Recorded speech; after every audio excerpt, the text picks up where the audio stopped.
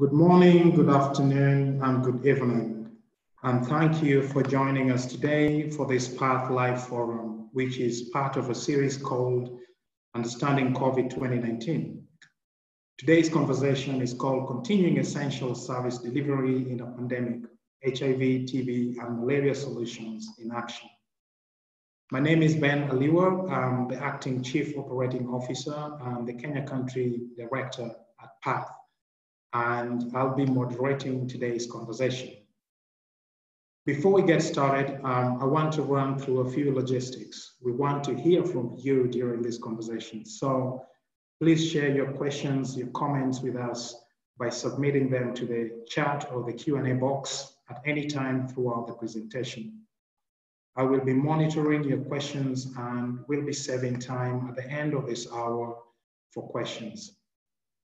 Um, I also invite you to join our conversation online by using the hashtag PathLiveForum and tagging us at PathTweets. This call is being recorded and will be distributed for those unable to attend. I also see that we have participants joining us from all over the world philanthropists, government representatives, corporate partners, and peers.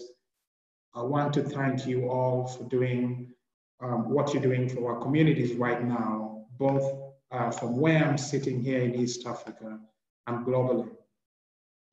The format for today's discussion will fully uh, be questions and answers. So we plan to have our videos up as opposed to slides for most of the webinars. However, if internet connectivity becomes a problem, we'll adopt. So um, for those, um, and I wanted to therefore take this opportunity for those of you who are less familiar with PATH, um, we are a global team of dedicated um, uh, to achieve health equity so all people and communities can thrive. Together, we are driving public health solutions that meet the most pressing needs of families, communities, and countries. Our specialties range across vaccine research and development, diagnostics, drugs, devices, and health systems. We are a global organization um, and a global team of colleagues working in 70 countries around the world. So just some opening remarks. Um, today's discussion will explore a critical and timely topic. As you'll hear more about later, the WHO, Imperial College, and others recently released a modeling study of how COVID-19 could affect HIV, TB, and malaria programs in the highest burden countries. The projections are eye-opening. So today we'll explore ways with which HIV, TB, and malaria service delivery platforms are being leveraged to support the COVID-19 response while mitigating its impact on delivery of essential health services and protecting frontline healthcare workers and healthcare providers and the clients they serve. We have an excellent panel of speakers with us um, whom I'm excited to introduce.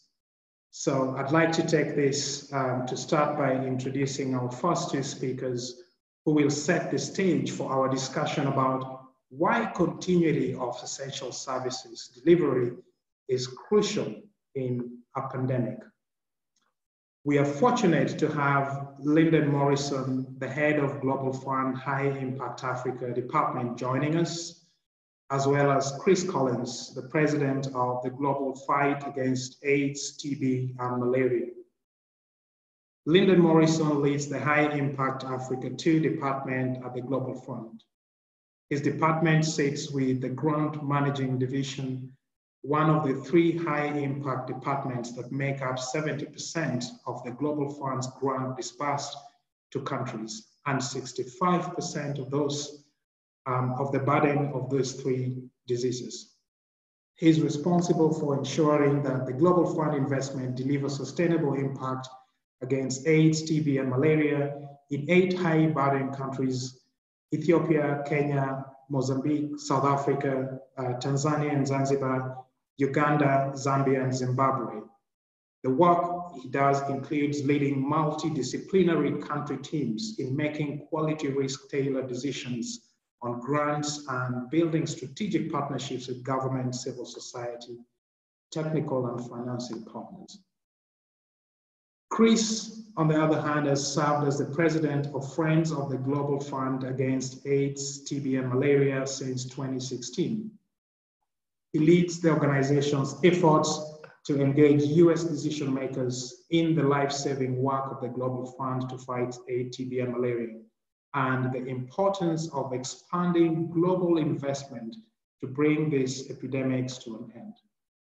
In 2019, he played a central role in multi-stakeholder advocacy to achieve the first increase in US support to the Global Fund in six years, the third largest increase in the history of US support. And with that, I'm going to transition to our two panelists. I'll start with you, Chris. I'd like to start with a question for you. As I mentioned in the beginning of recent modeling study released by WHO, Imperial College London, and others, estimates that COVID-2019 epidemic could cause a 10%, 20%, and 36% increase in HIV, TB, and malaria related deaths, respectively. Over the next five years, the report notes that the greatest impact of HIV would be from treatment interruptions, for TB from reductions in timely diagnosis and treatment of new cases, and for malaria, reduced prevention activities such as planned insecticide-treated net campaigns. Can you tell us more about the impacts we are seeing globally? Over to you, Chris. Thank you, Ben, and thanks very much for including me in this webinar. Um, I really appreciate that you're doing it. Um, Linden and I just, as you've said, want to provide some background for the beginning of the webinar, and I'll talk a little bit about what some of the predictions are about potential impacts. Um, and Linden will talk about what we're seeing on the ground thus far, and then I'll come back and talk a little, little bit about the funding opportunities and uh, needs, particularly with the US focus. So picking um, off from where you said, there really have been dire warnings about uh, how COVID-19 could lead to service disruptions in the AIDS, TB, and malaria responses. How do you deliver bed nets or HIV prevention in the context of social distancing? How do you ensure people living with TB or who may have TB come in for testing and treatment during a lockdown? So these are some of the, the challenges that people in the field are grappling with right now. You noted the Imperial College uh, estimates, and they're extremely concerning. Um, what they did was look at what would happen if there was uh, sustained service disruptions, for example, delivery of ART or TB services or malaria prevention. Um, and as you said, they saw uh, uh, mortality from AIDS, TB, and malaria increase by 10%, 20%, and 36%, respectively, over a five year period that is only if we don't succeed in what we need to do. That's uh, what could happen uh, if we don't find ways to deliver those services and make people feel comfortable accessing health services. Um, it's important to note that Imperial College is not alone in um, uh, identifying major impacts on AIDS, TB, and malaria responses if we don't find ways to get services out. So, for example, UNAIDS has estimated that a six month disruption of ART service delivery due to COVID could lead to more than half a million additional deaths related to HIV, including with tuberculosis in sub Saharan Africa. And we're already hearing things from the field that suggest some of those outcomes are possible. For example, uh, the Gauteng province in South Africa, uh, the health department has said that from the uh, end of March to last week, about 10,950 patients failed to collect their antiretroviral medicines. That's about a 20% reduction already in people accessing ART, very concerning. In the area of TB, of course, people living with TB uh, can be more vulnerable to COVID, but also just in terms of uh, TB services, Stop TB Partnership has estimated that with a three month lockdown in services and a 10 month restoration period where those are gradually coming back, that could lead to an additional 6.3 million TB cases and 1.4 million additional deaths over five years. And again, we're already seeing things in the field that suggest these kinds of estimates are possible. India announced their lockdown uh, on March 24th, resulting from COVID, and the public health system has been directed primarily towards addressing COVID 19, of course. The Central Tuberculosis, Tuberculosis Division in India, their dashboard shows that TB diagnoses have fallen by nearly 70% over the first month of that lockdown. So that's a huge concern, of course, in terms of people accessing the TB services they need, but also the potential for increased transmission of TB during this time when people aren't getting diagnosed. For malaria, the WHO estimates that disruptions at bednet campaigns and the distribution of anti-malarial medicines could mean that malaria deaths in sub-Saharan Africa could double because of COVID. So these are the kinds of possible outcomes that we all need to work together to find ways of avoiding. But let me, at this point, hand it over to Linden to discuss the some of the realities that they're seeing on the ground. Thank you, Collins. Over to you, Linden. Ben, I, I, thank you. Thanks, Chris. Thanks, everyone, for inviting me to this um, webinar, very important webinar. Um, you've heard from um, Chris well, how it's the dire predictions. And I want to start my um, to share with you what our executive director Peter Sands said. He mentioned that the fight against the three diseases and strengthen health system and COVID is one and the same fight. So I repeat, is one and the same fight. If we do not see it as one and the same fight, we cannot adequately address the issues that I was um, raised by Chris. In that regard, what the Global Fund did First of all, we engage um, and we responded rapidly. I'll discuss with you as we go along about the, the, um, the funding, new funding source, but we engaged rapidly because we, we saw the challenges. We heard about the challenges from on the ground, and you also heard what was just mentioned by Chris. Um, the challenges were real. Um, and we reached out to, for example, the Global Fund, we reached out to some, many of our partners on the ground, including the implementers, and to discuss some of these challenges. Chris mentioned some of the challenges caused by directly caused attributed to the lockdown, which included, um, first of all, disruption of services, um, gender-based violence, and of course, um, one of the big ones is the diversion of resources. Um, while we while we see while we saw all of these challenges, um, we also recognize the fact that the global fund must act. So our, our action were basically at different levels, at the, at corporate level and the global level. We and, we and we, the Global Fund played a critical role in working with partners to, first of all, ensure access to, um, to diagnosis and treatment uh, related to COVID um, and the other, other equipment. We also, at, at a Global Fund level, we've immediately engaged and um, aggressively engaged in um, using the virtual platforms. And the virtual platforms, for example, uh, like, like the one we're on, we found it very, very helpful. Actually, I must say that um, I've not seen, there may be some, some, some uh, discussion of this. I think we're doing more work now, actually. Within the context of the virtual platform, we also, we also try to engage with, with, our, with our implementers, get very, very close to our implementers.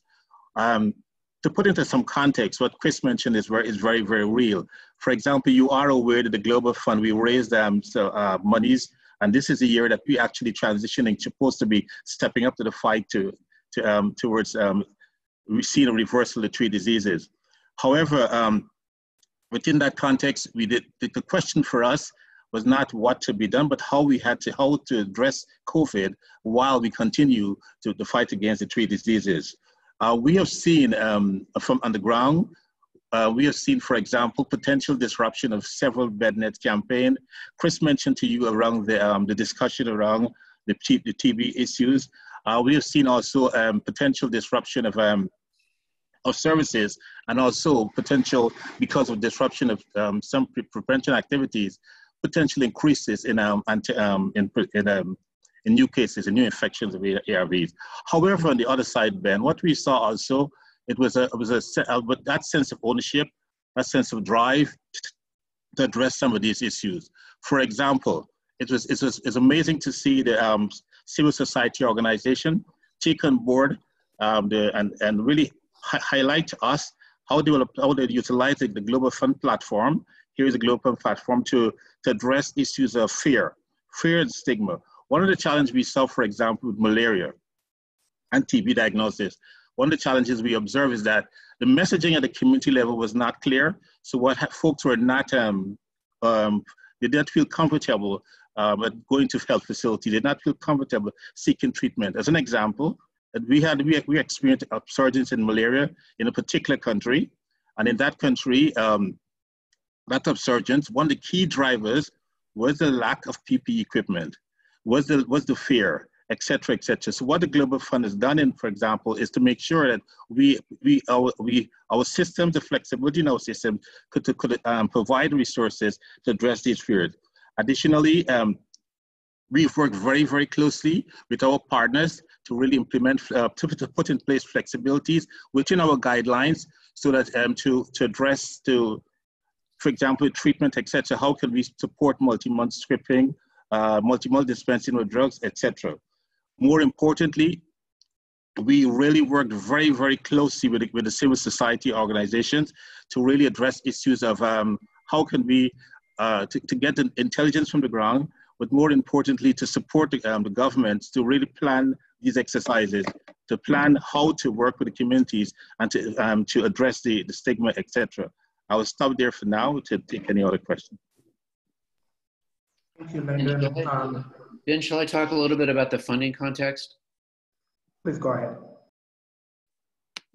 Yeah, thank you, Linden. Just to, to follow up on that, and and uh, there have been many, you know, good signs already in in the ways that uh, people are using existing platforms and responding. It's also worth noting that in several African countries, uh, they've really acted decisively to um, limit the spread of COVID thus far, as far as we can tell. There's been a, a lot of examples of uh, good policy making in Africa that I think could help um, with the response to COVID.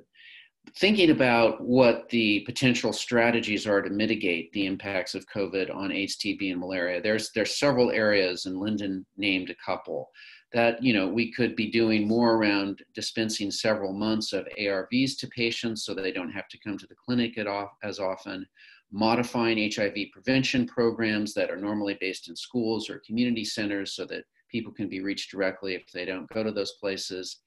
Conducting direct outreach to people uh, with TB who might not want to seek testing or treatment in a facility. Um, and very crucially, hiring additional community health workers and providing them uh, with uh, personal protection equipment so that they can conduct bed net distribution on a house to house basis instead of having people having to come to a central distribution area. Um, and you know platforms like the global fund and other existing uh, global health platforms also are in a position to do those things but in addition do some other things to help communities address covid um, in other ways and shore up their health systems so, getting PPE out for health workers, providing diagnostics, and being ready one day to provide treatments to people to address COVID. Those are all possible uses of Global Fund and other platforms that are out there. As Linden noted, the Global Fund has acted quickly to uh, make funds available to countries it works with, creating the global COVID 19 response mechanism. Uh, through various flexibilities and transfer of funding, they've, they've made uh, up to a billion dollars available for countries to um, do various things responding co- to COVID, but also shore up their health systems and mitigate challenges to the AIDS, TB, and malaria uh, responses. So far, funding's been approved for 83 countries, and there's been six regional grants. That's a total of $138 million uh, through grant flexibilities. The need, however, is going to be much greater. Um, uh, in terms of what's needed to through the Global Fund platform to mitigate damage against the AIDS, TB, and malaria epidemics, but also to help communities with COVID. Um, so when the board of the Global Fund created the COVID-19 response mechanism, you know, they, they provided some flexibilities, put in some money that was available there, but also made that mechanism available so that public and private donors could make contributions to the fund. And the advocacy community in the United States is now requesting that the US contribute $1 billion towards that Global Fund COVID 19 response mechanism. Um, we think, we know that billions of dollars are going to be required um, in, in that mechanism, and that we think a fair US share at this point is a billion dollars. And in the context of the kinds of massive spending bills that Congress is rightly passing now around COVID, you know, dedicating uh, billions of dollars to global health and a billion dollars to the Global Fund in this case um, is really just a very tiny percentage. In fact, it's important to know that of the trillions of dollars the United States has committed to the COVID response already, just 0.1% of that is going to global. Uh, uh, global efforts to address the epidemic.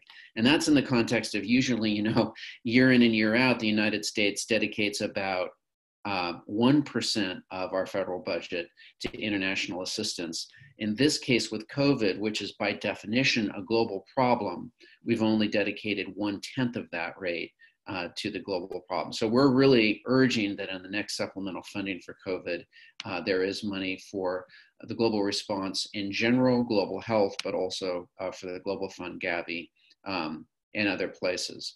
I also just would say in closing for this section, um, all of these questions about how Congress and the administration respond at this point to COVID um, sets the stage for what the world looks like after COVID and where we're going in terms of global health financing. Hopefully, donor governments, including our own, are really going to recognize much more clearly how we're all connected um, across the world and that health security across the world should be a top priority for donors and we need to think about what health security means, not just for people in the United States, but also what health security means for people in other countries. We don't want to think about health security too narrowly now when we have this moment of clarity of how we're all connected. So that could mean a recommitment to end epidemics that kill millions of people year in and year out, like AIDS, TB, and malaria. Uh, it could be investing in more local decision making about how communities want to work to uh, themselves be prepared to identify and respond to epidemics. Uh, so there's an urgent need right now for Congress to pass additional funding, but I think some of these bigger questions too uh, come into play as Congress grapples with global health financing down the road and as the presidential uh, campaign heats up and we have candidates talking about their vision for the US role globally. Thanks. Thank you. Thank you, Linden and Chris, for um, a fantastic overview. And I think um, you're absolutely apt in terms of the astronomical numbers um, that we're seeing in terms of potential disruptions to services, to, to, um, to supplies, um, you know, and also where the governments are actually already taking early decisions in terms of policy and other containing measures as you reference in, in Africa. I think that's really great. Um, I, I, and now I'd like to invite a few of my colleagues um, at PATH to join this discussion to share some tangible examples from our HIV, TB, and malaria programs across the globe.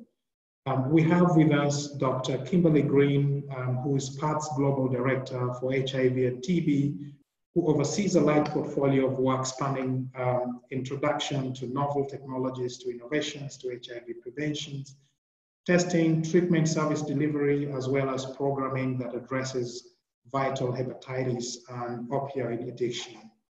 Um, she has drawn um, more than 20 years experience in expertise in private sector engagement to inform how to rapidly pivot HIV and TB service delivery to ensure continuity of services to people living HIV and AIDS and or TB while supporting COVID-19 responses.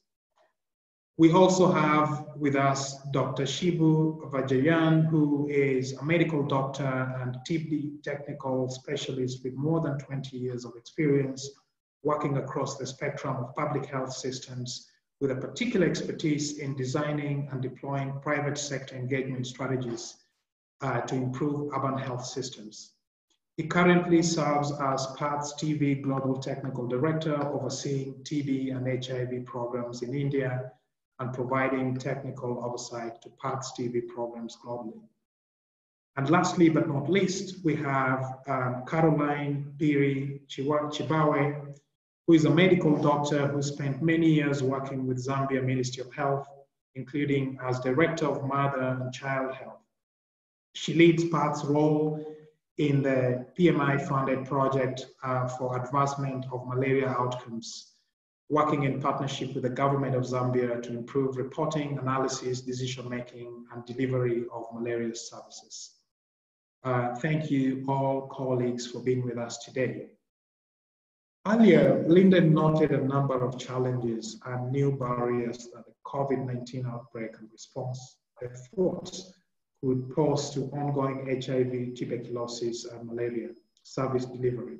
Kim, at PATH, we have used an approach to protect, mitigate, and support to guide how we respond to COVID-19 while continuing essential services. Can you give us a very brief overview of this approach and how it has guided your team's work? Great, thanks, Ben. Yeah, so starting in March, uh, we put in place a framework uh, to guide our response to COVID 19 through uh, our HIV, TB, and malaria services. And so um, it's based on three pillars. The first focuses on protect, the second um, on mitigate, and the third on support. So, protect um, is really about uh, training and equipping facility and community based healthcare workers to deliver essential services um, for those three diseases, uh, while also um, being able to uh, safely triage for those exposed to or having symptoms of COVID 19. So, this has involved, um, of course, ensuring access to PPEs, uh, but also revamping uh, facility flow uh, to uh, maximize uh, physical distancing, as well as pre screening of clients before routine care appointments. Um, and so this has been implemented across a number of countries, including Kenya, DRC, uh, Ukraine, Vietnam, and others. So, but under this pillar as well, uh, you know, we're also really focused on um, how do we ensure um, more immediate or longer term social protection for the individuals that we serve. Um, and this has really included uh, training providers um, around actively assessing and responding to intimate partner violence, which we know is on the rise um, also um, around addressing economic insecurities, uh, as well as mental health morbidities, which are at an all time high right now. The second component focuses on mitigate, and we've talked about that. Chris and, and Linden have provided some examples, including related to uh, making multi-month dispensing uh, available. But this is focused on how do we ensure continuity of care, um, for the three diseases, how do we rapidly um, pivot how services are offered to ensure that that happens? Um, and how do we do so with confidentiality um, while also factoring in uh, gender inequities? The third uh, pillar is really around how can we build off of the platforms that have been established around HIV, TB, and malaria uh, towards the COVID 19 response, but without jeopardizing core services. So there's a number of ways in which we're, um, you know, engaged in the, the larger COVID-19 response through these three diseases. So that includes, um, you know, uh, using existing lab infrastructure uh, towards diagnosis and monitoring of SARS-CoV-2, also adapting some of the excellent uh, TB infectious prevention and, control protocols for um, SARS-CoV-2. Uh, as well, you know, contact tracing is a critical element of the response, and uh, there's a lot of learning from TB and, and, HIV that we've been able to draw upon. Uh, and then lastly, really focusing on advising governments and how to engage with communities uh, and the private sector in the response. Thanks. Thank you, Kim. Um, thank you. Shibu, um, let me turn on to you. Um, another recent modeling study by the Stop TB Partnership and Imperial College London emphasized that COVID-19 may strip back five years of progress, making elimination of tuberculosis by 2035 almost impossible. What actions can countries take both during and following the COVID outbreak to mitigate um, the impact of response efforts on TB services and burden? Well, thank you, Ashley, um, uh, Ben, for, and also thank Chris, uh, uh, Linden, and and uh, and Kim, Kim for actually setting that stage, and also pretty much actually you stated the problem well. Uh, on coming out to the solutions and actions, and we have seen that sequentially uh, from the WHO side and Stop TB side, there has been advisories actually going out, uh, starting from January onwards, how essentially capturing the spirit of destigmatizing, protecting the TB patients, and, and some sort of leveraging uh, existing uh, uh, TB support system and preserving the, the essential services. And almost all the countries actually followed, uh, I mean, taken that, uh, mean, uh, the principle of that, and then given advisories to the respective program managers of provinces and, and for the county level. Uh, on the specifics of actually what we can do, I also see, uh, I mean, I, I have also heard that Kim mentioned about the infection prevention control measures uh, and also leveraging the lab network. Besides that, uh, this is an opportunity for us to actually leverage on uh, some critical issues which also been mentioned by, uh, mentioned by WHO.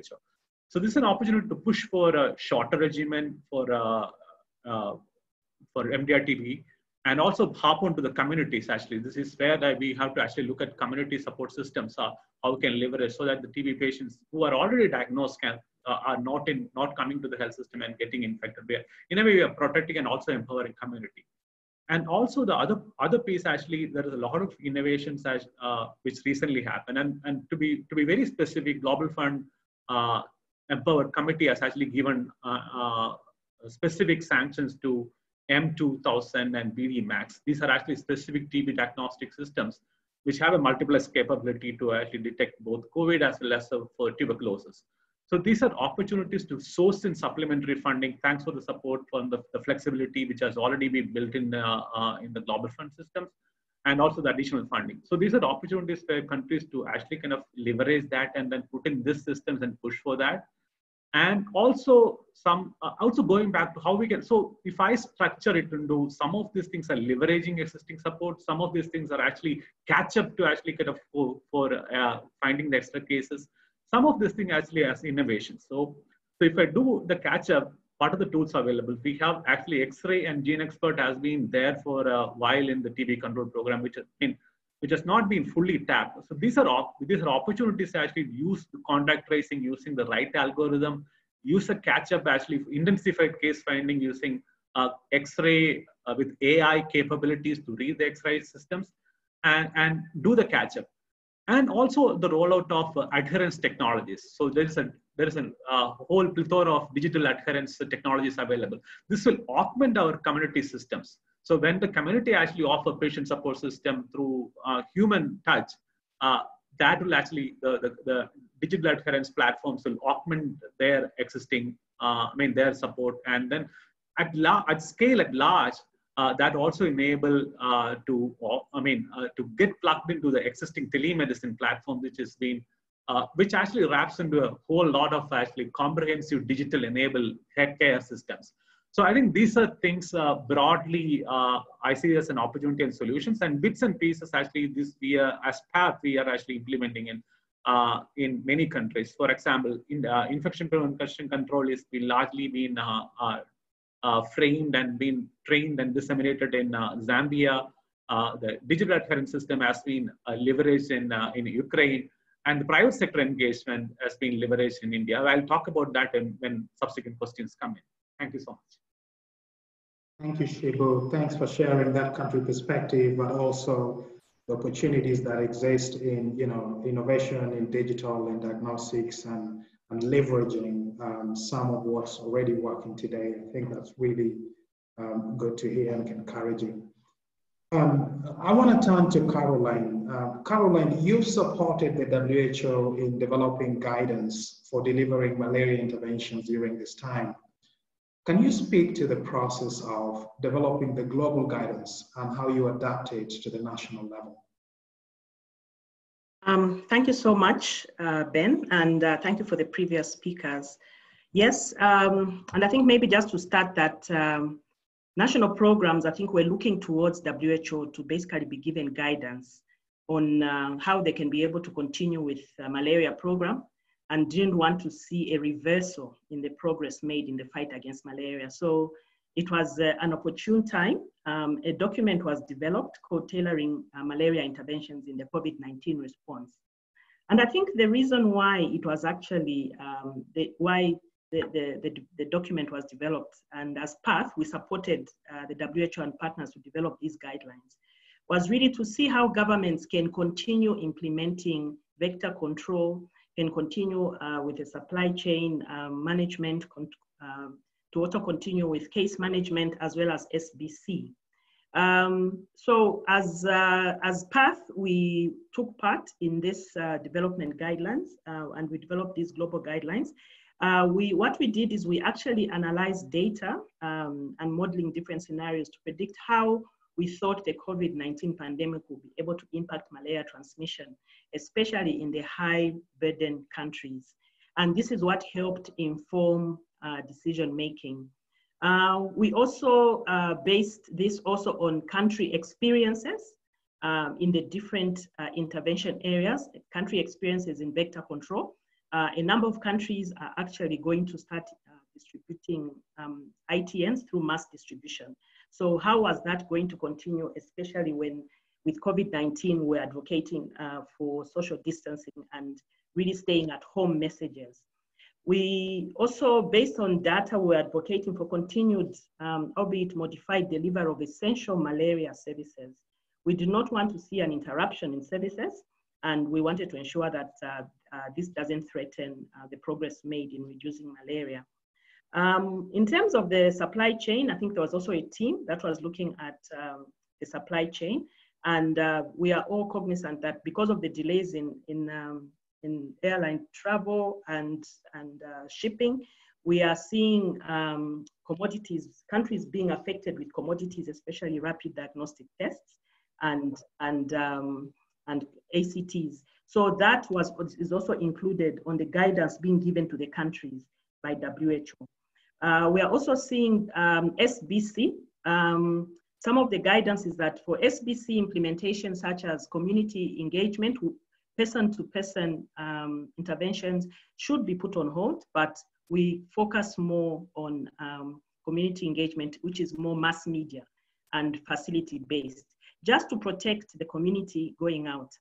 There was also a component uh, which we looked at called uh, on case management, how to continue testing and treating, testing, because the importance about malaria is early testing. Early testing, and it's being done by both health facility and community health workers.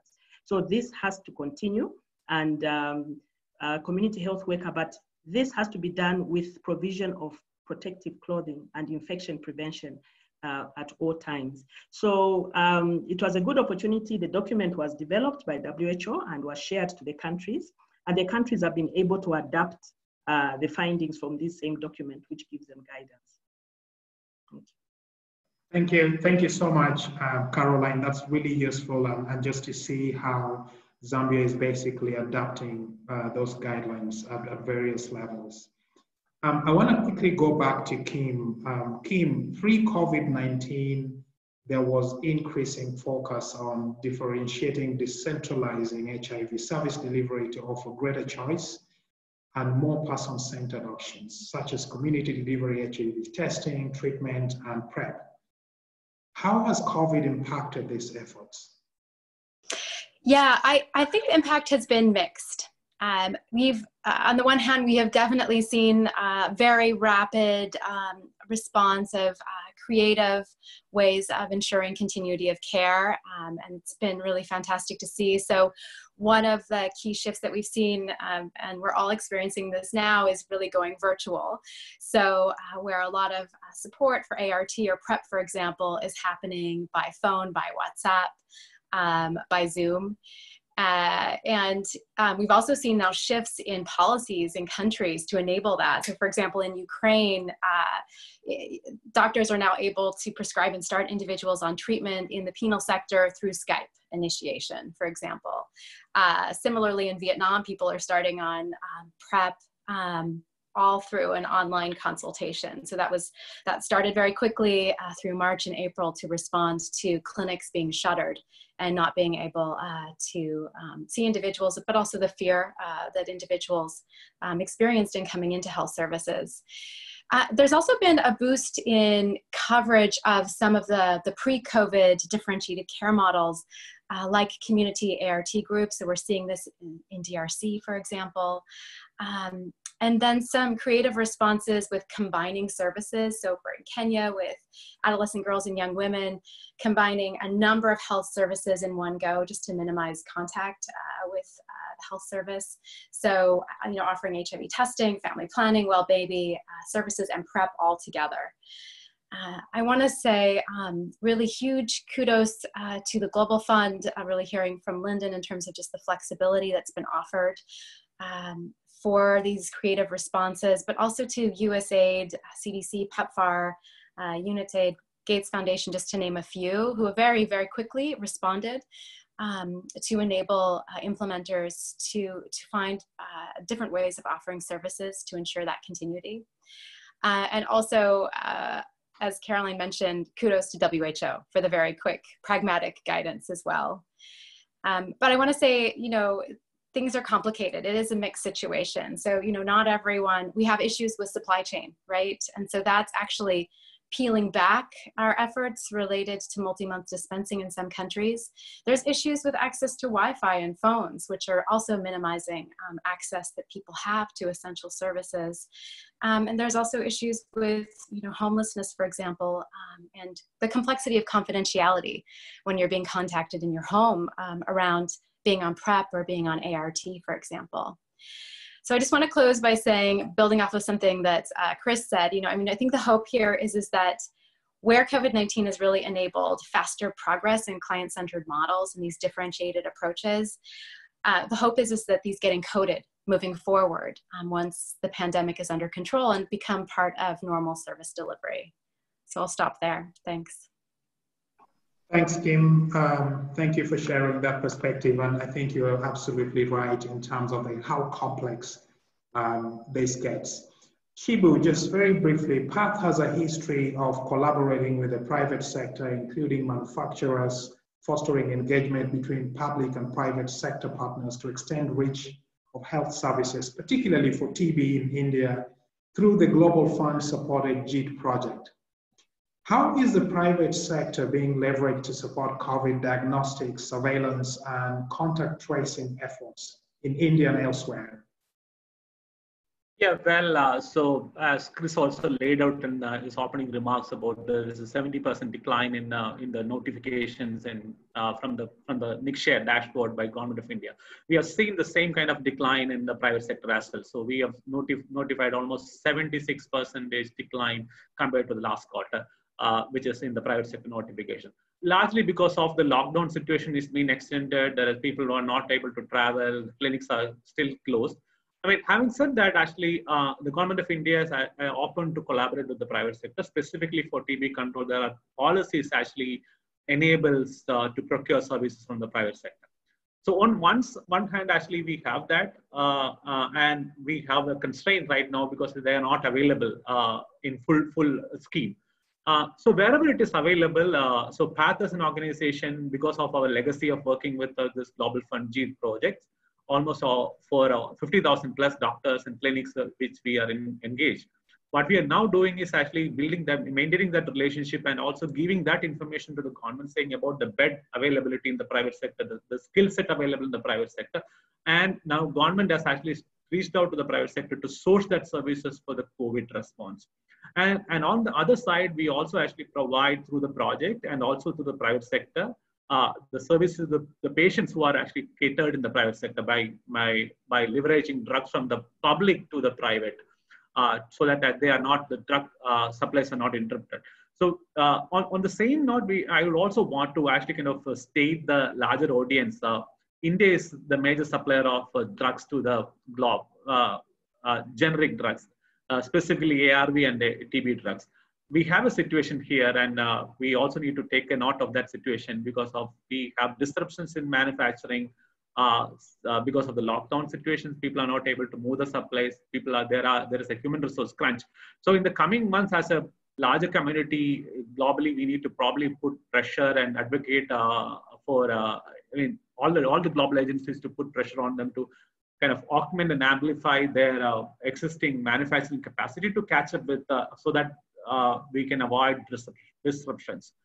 Uh, on uh, so largely we are seeing private sector opening up in the diagnostics also because we have a network of huge network of labs now that we have the same platform of GeneXpert coming with this express solution for covid and similarly there is a TrueNAT which is coming up with uh, their own solution BetaCov solutions so these two are actually, as Path, we have leveraged uh, uh, and do a mapping of the lab where this actually, they can do it and then submit it to the government. So the government now opened up these services to, uh, these platforms to actually offer dual services, both COVID as well as TB services.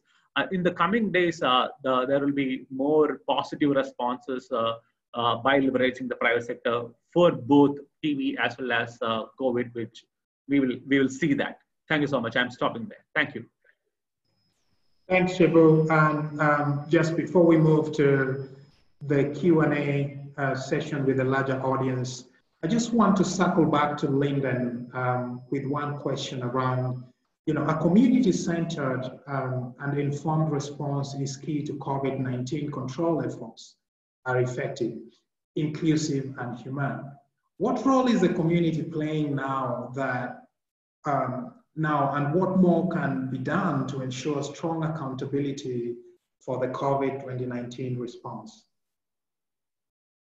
Ben, thanks a lot for that. I think um, the biggest revelation in this entire response to COVID is the importance of the community. At the Global Fund, I think we've observed that the heart of the, of the um, getting things done, as I mentioned, the how is being conducted by the community. They are at the center of everything. I think Kimberly mentioned um, the mixed, the mixed um, approaches so far, but are the mixed results. But this is something we think we could really build on, the, the sheer resilience, the innovations, and, and, and, and, and, an important role. As an example, what we have noticed in most countries that have responded adequately to, uh, to COVID, the community is at the center of the response.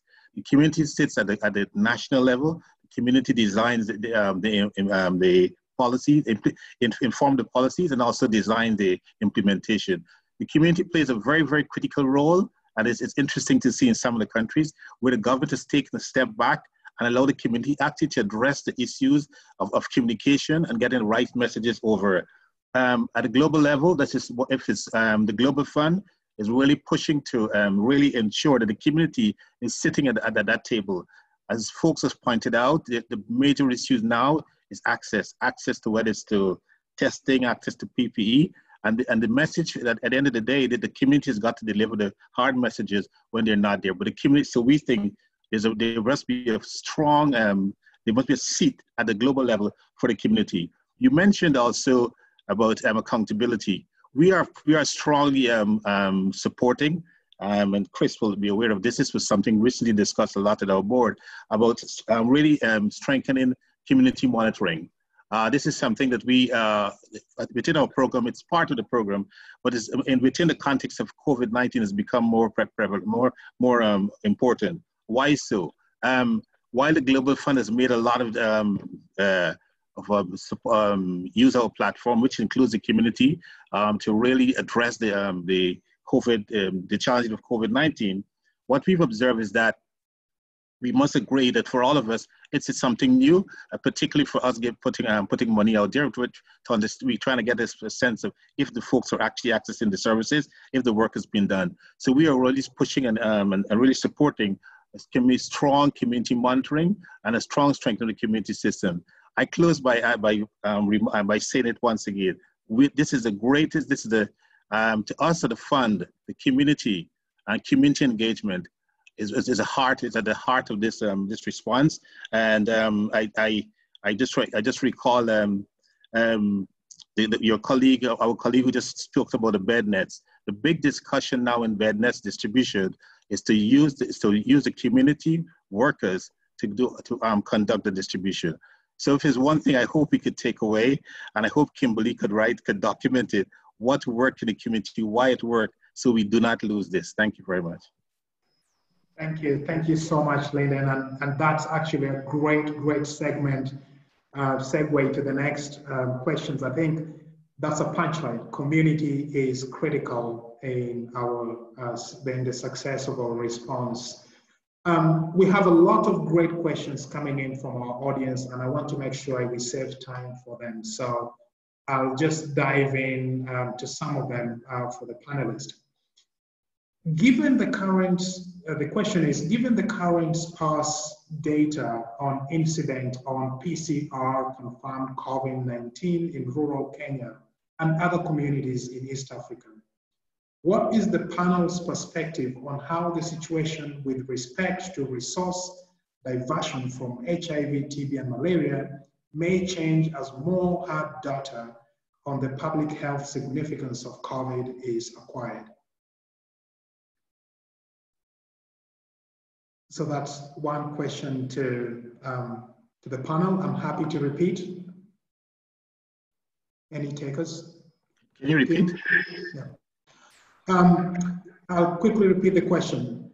Given the current sparse data on the incidence of uh, PCR confirmed COVID-19 in rural Kenya and other countries in East Africa, what is the panel's perspective on how the situation with respect to resource diversion from HIV, TB, and malaria may change as more hard data on the public health significance of COVID-19 is acquired.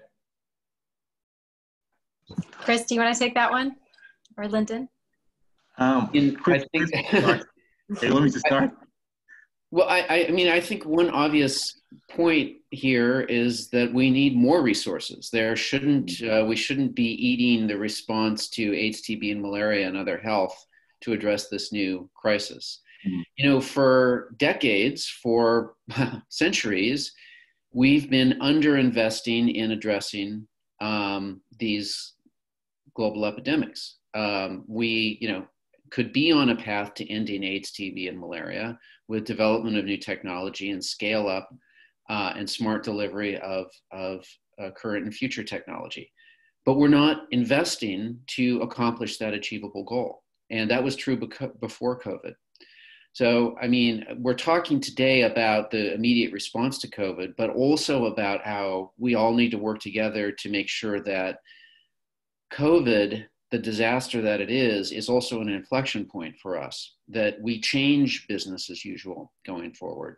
And part of that means increased resources and investment in health, both by implementing countries themselves, but also by donors to um, scale up the benefits of science to everybody. So for me, the answer to that is um, don't accept a zero sum game here, but rather realize this is an opportunity for us to invest in health interventions that work and that that's a moral obligation. If I could just echo, if I could just echo Chris there, and, and I, I, where I started when I mentioned our, um, um, our executive director, Peter Sands, highlighting that this, this is one and the same fight. Fighting COVID, HIV to me is one and the same fight. And I would want to point out also um, in developing countries, particularly Kenya, because I cover Kenya, um, if you speak to one someone in Kenya now, so the senior, um, um, most folks in Kenya and most folks in um, in several countries we cover, the success of the COVID response is largely due to the platform from, from um, HIV. Uh, um, as a matter of fact, we had a, there's a discussion this morning, actually, for the interesting question. And the big discussion is not is, is how do we leverage these platforms to really ensure that we could um, to um, effectively um, address the COVID um, the COVID response. More importantly, I, I think it's a brilliant question, but I think if it's if it's and just to pick up on what Chris said, if the question was um, I would have if the question was framed was how can we leverage it, and also what in um, what are the gaps we see? I think one of the challenge, one of the gaps that was raised this morning in the discussion we had only today actually, was it was not a matter of resources, but it was access to resources. Because they don't have the access to the testing, they cannot inform the the response adequately. The, the response cannot be timely. So because of access, the lack of access to timely resources, which is testing, etc., what you cannot effectively leverage that great platform we have, H- HIV. It's interesting to note big discussion around the globe is contact tracing. Who know contact tracing better than this this audience? Thank you. Great, thanks, thanks, Chris and Linden. Uh, I think that really does um, answer that question fundamentally. Um, Caroline, there's a specific question for you. Can you share some examples of how we are leveraging the current systems and tools we built to fight malaria and also to support COVID response? Um, thank you, Ben. Um, so one of the things that uh, we have been working on in Zambia is um, support to the government um, in terms of the, the response to, to COVID. And uh, one of the investments has been in our lab. We have been working uh, very closely with uh, National Malaria Elimination Program in the lab, and this has actually paid off. So we are using um, the lab to sequence the genome of malaria parasites to detect resistance to anti-malaria drugs. Uh, we recently began sequencing COVID-19 viral samples to better understand COVID's genetic trail in Zambia and hopefully uh, regionally like Malawi. This has improved understanding of the transmission patterns. So our lab strength is actually one of the areas we're working with. Um, we are also supporting the, the ministry with um, training. Um, I think somebody talked about community, not um, leaving out the community health workers. So we are, the ministry has given a go ahead for us to continue with ICCM training to ensure that uh, management is as close to the family as possible. So leveraging that, uh, we are helping with community case uh, management and surveillance with the community health workers. Um, in Senegal, we are supporting the Ministry of Health in adapting the global guidance into national procedures. And these include on safety protocols, treatment of malaria, for handling and transporting uh, COVID test samples for training health workers.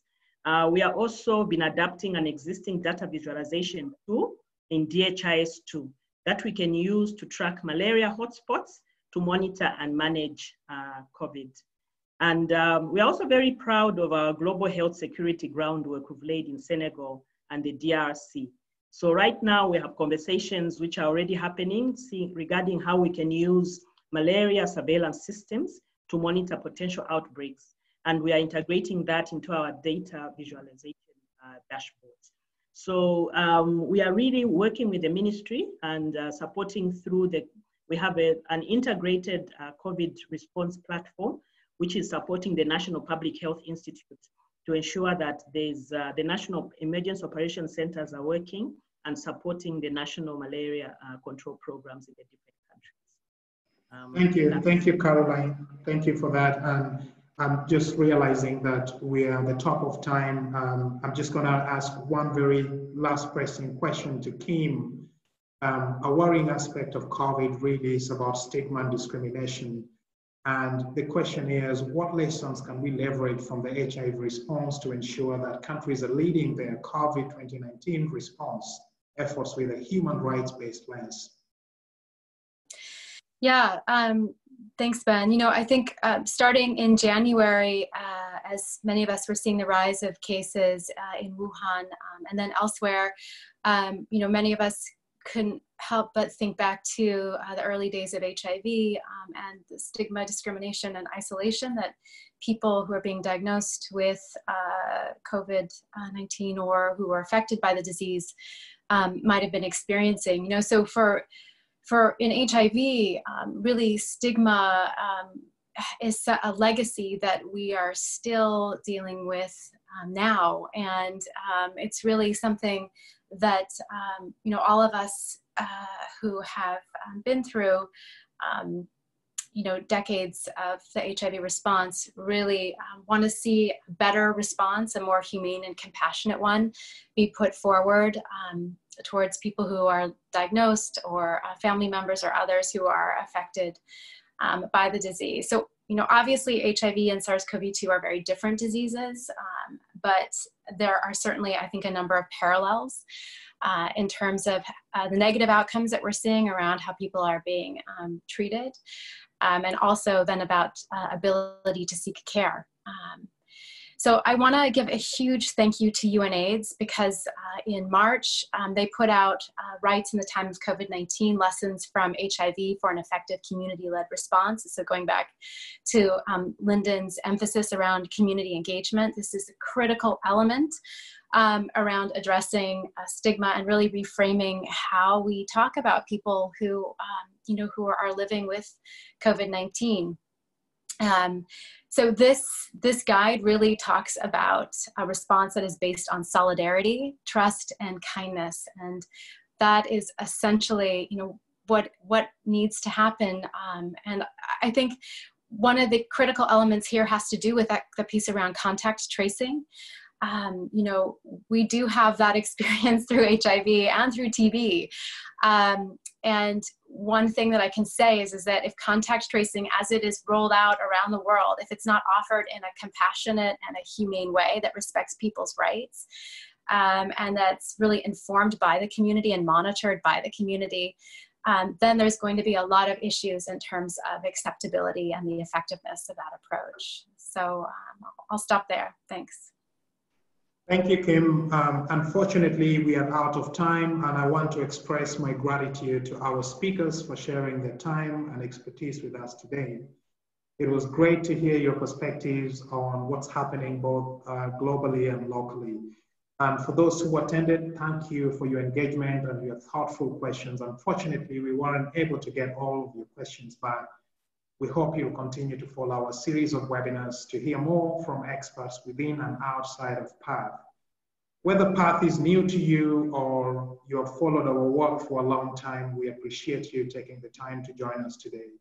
Please stay in touch and thanks again. Thank you all.